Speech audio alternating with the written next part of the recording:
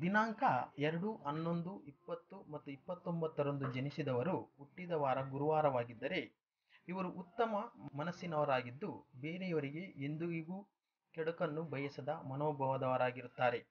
ಹಿಂಸೆ, ಅನ್ಯಾಯಗಳನ್ನು ಕಂಡರೆ ಸಹಿಸದೆ ಪ್ರತಿಭಟಿಸುತ್ತಾರೆ. ತಮ್ಮ ಗುಂಪಿನಲ್ಲಿ ಯಾರಿಗಾದರೂ ತೊಂದರೆಯಾದಲ್ಲಿ ಕೂಡಲೇ ಧಾವಿಸಿ ಸಹಕರಿಸುವ ಒಳ್ಳೆಯ ಮನಸ್ಸಿರುತ್ತದೆ. ಇವರಿಗೆ ಉತ್ತಮ ವಸ್ತುಗಳನ್ನು ಪಡೆಯುವ ಹಂಬಲ ಹೆಚ್ಚು. ತಮ್ಮನ್ನು ಎಲ್ಲರೂ ಗೌರವಿಸಬೇಕು ಹಾಗೂ ಪುರಸ್ಕರಿಸಲೆಂದು ಬಯಸುತ್ತಾರೆ.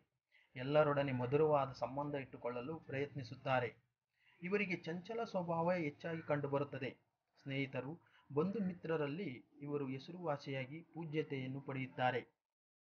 ಇವರಿಗೆ ಜೀವನದಲ್ಲಿ ಹಣಕಾಸಿನ ಸಮಸ್ಯೆಗಳು ಬರುವುದಿಲ್ಲ. ಚೆನ್ನಾಗಿ ಸಂಪಾದಿಸಿ ಶ್ರೀಮಂತರಾಗುತ್ತಾರೆ.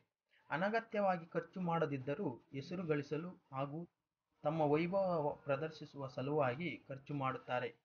ಜೀವನದಲ್ಲಿ ಸಂಕಟಗಳ ಪರಿಸ್ಥಿತಿ ಎದುರಾದ ಸಮಯದಲ್ಲಿ ಅನೇಕ ಮಂದಿ ಸಹಕರಿಸುವುದರಿಂದ ಕಷ್ಟಗಳು ನಿವಾರಣೆಯಾಗುತ್ತದೆ. ಈ ಸಂಖ್ಯೆಯವರಿಗೆ ಅದೃಷ್ಟ ತರುವ ವೃತ್ತಿಗಳು. ಸ್ತ್ರೀ ಸಮೂಹಕ್ಕೆ ಬೇಕಾಗುವ ಎಲ್ಲ ವಸ್ತುಗಳು, ಆಭರಣಗಳು ನ್ಯಾಯಬದ್ಧ ಹಾಗೂ ಕಾನೂನುಬದ್ಧವಾಗಿ ನಡೆಸುವ ಎಲ್ಲ ಬಗೆಯ ಹಣಕಾಸು ವ್ಯವಹಾರಗಳು ಮುಂತಾದ ವ್ಯವಹಾರಗಳಲ್ಲಿ ಯಶಸ್ವಿಯಾಗುತ್ತಾರೆ. ನಮ್ಮ ಮುಂದಿನ ಅಪ್ಡೇಟ್ಗಳನ್ನು ತಿಳಿದುಕೊಳ್ಳಲು ನಮ್ಮ ಚಾನಲನ್ನು ಸಬ್ಸ್ಕ್ರೈಬ್ ಮಾಡಿ ಹಾಗೂ ನಿಮಗೆ ಈ ವಿಡಿಯೋಗಳು ಇಷ್ಟವಾದಲ್ಲಿ ನಿಮ್ಮ ಸ್ನೇಹಿತರಿಗೆ ಶೇರ್ ಮಾಡಿ.